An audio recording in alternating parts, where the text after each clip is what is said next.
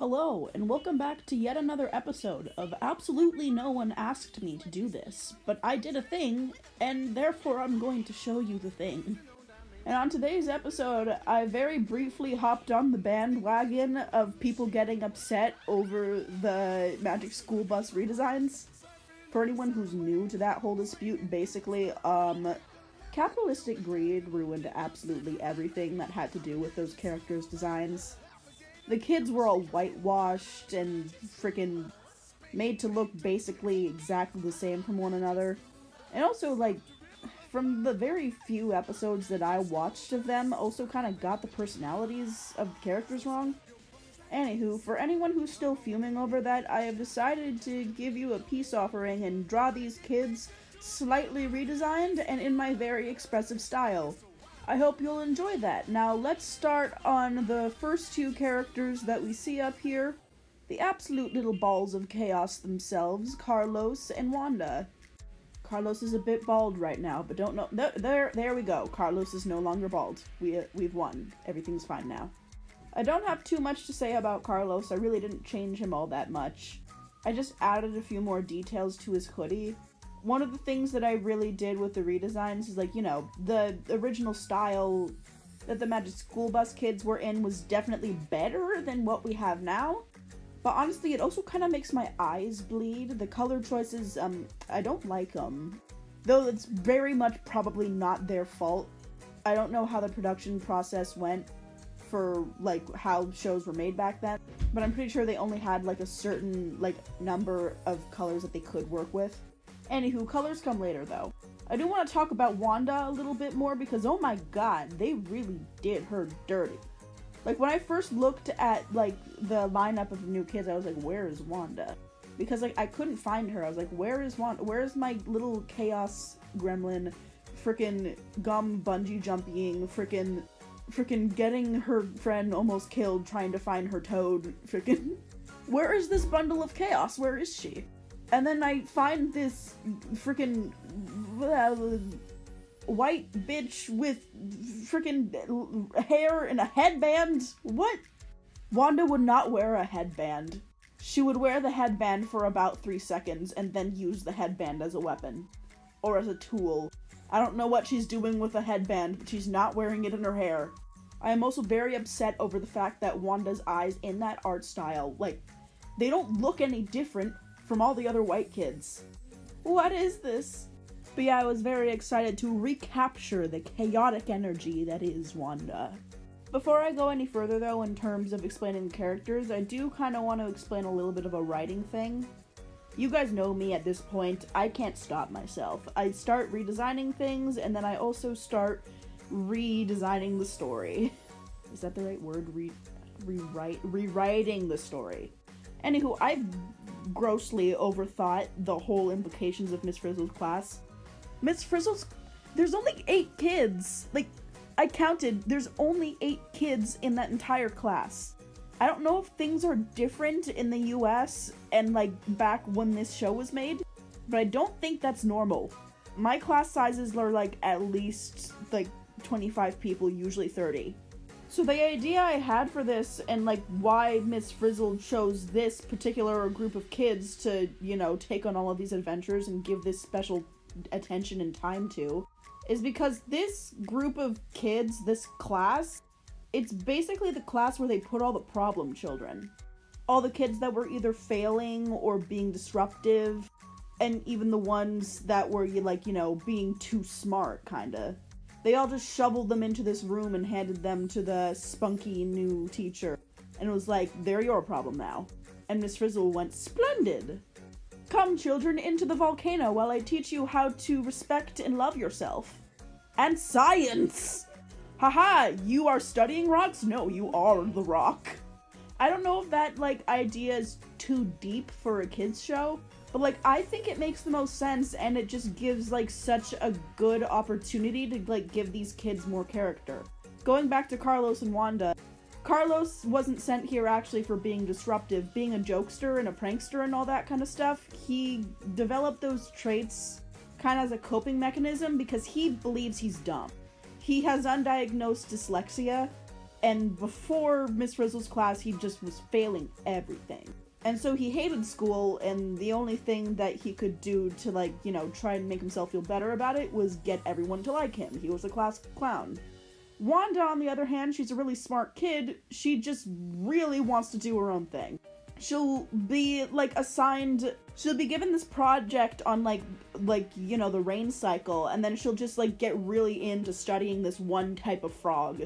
And she'll justify it to her teacher that, well, uh, frogs are amphibians and they like to be wet, and rain is wet, and also frogs are cool, and maybe stop being a goober. She was also just heavily chaotic. She totally pulled and Luz Noceda at one point and brought a live snake to school. Dorothy Ann is not a problem student. She was just like way too smart for her own good. And she was really not doing good socially either she was abrasive and like made all the other kids feel dumb so they were kind of like okay she's not learning anything. Let's just shove her in a room. She already ignores all the other kids in her class so she'll be able to ignore all the problem children and just do her own thing. But then she ends up making friends instead.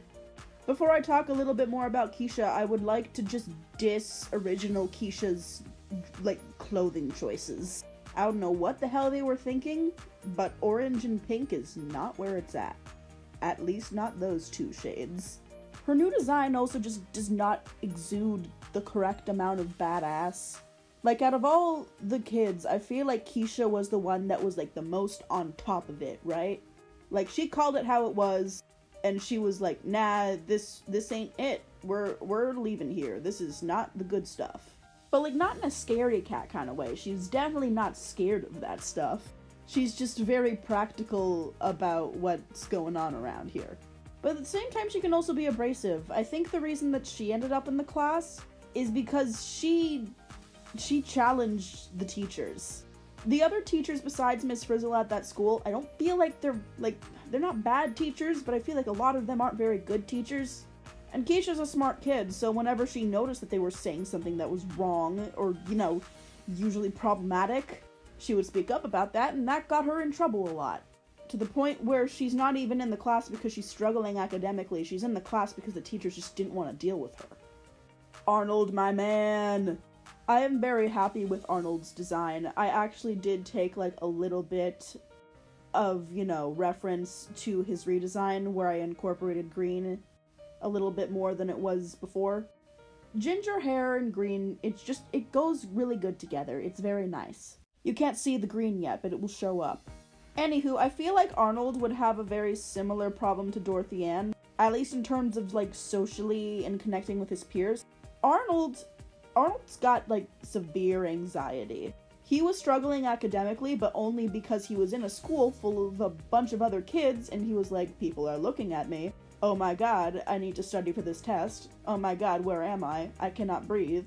Yet it was not a good time, he was not getting the support he needs. Arnold's also just like low key autistic. A lot of the kids in this class are. Like his whole obsession, hyperfixation with rocks, he like even ended up in this like, you know, super like snobby and serious society of like, you know, people who like are really crazy about rocks and all of it was adults. Literally part of that episode was about the fact that he was the youngest kid to be accepted into this club because he just loves rocks that much. It's giving Tism, and we love him for that.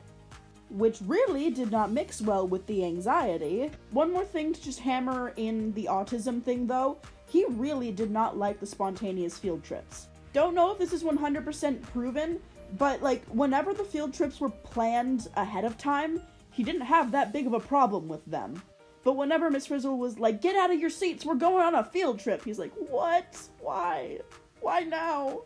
No but schedule. I know that it's a different take on it than usual, but I also don't care. Ralphie!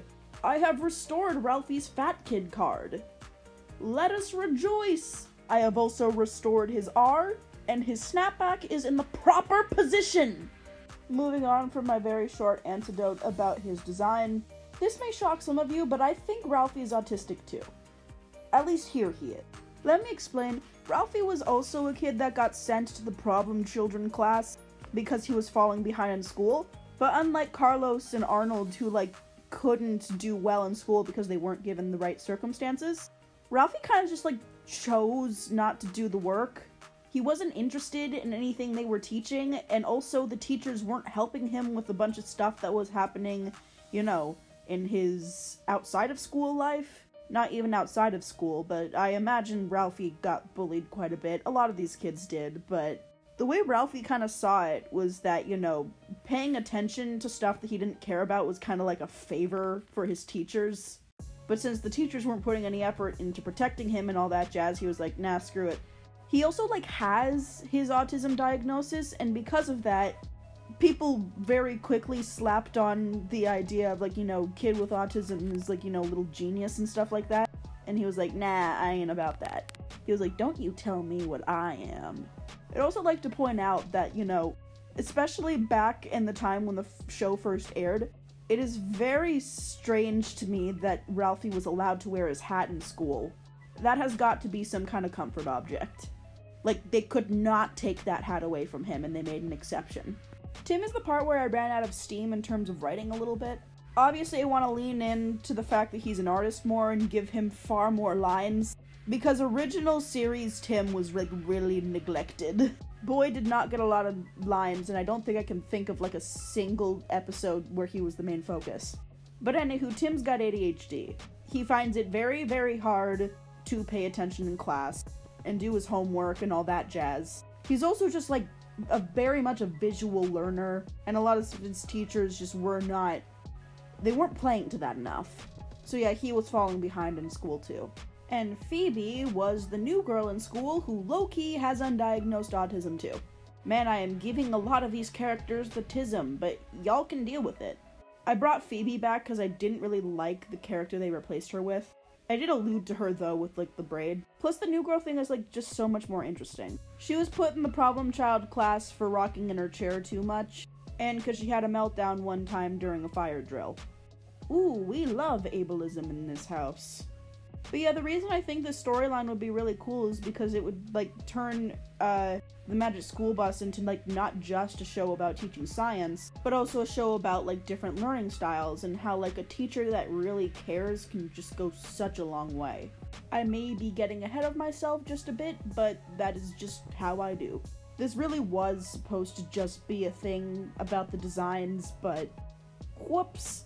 Anywho, I hope you guys like these designs better than whatever the hell we got in the new series.